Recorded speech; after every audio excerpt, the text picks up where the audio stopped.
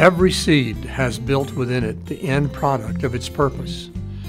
The tiny sequoia seed that can rest on the tip of your finger contains within it a massive 300 foot tall redwood tree weighing tons.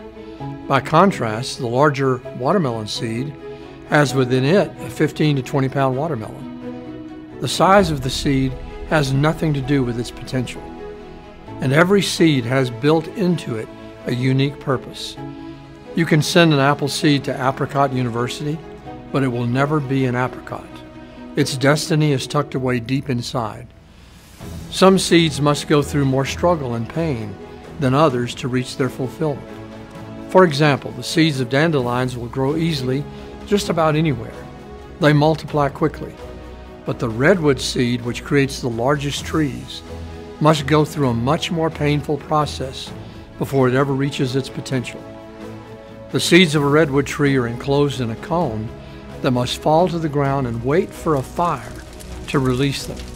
Sometimes the cones may wait 20 years before a fire causes them to be released from the cone and germinate.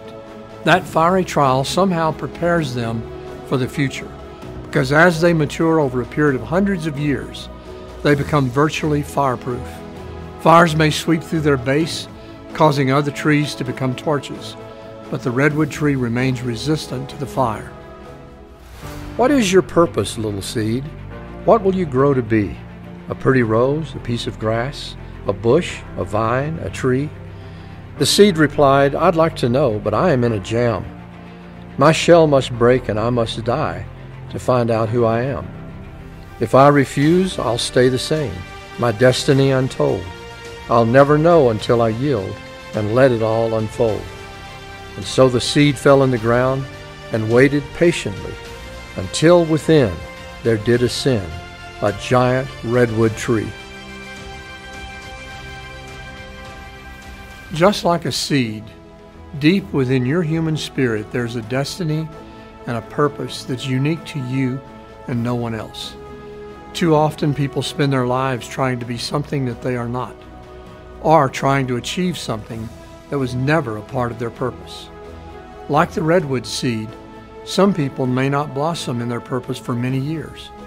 Others will only know their purpose after they go through the fire.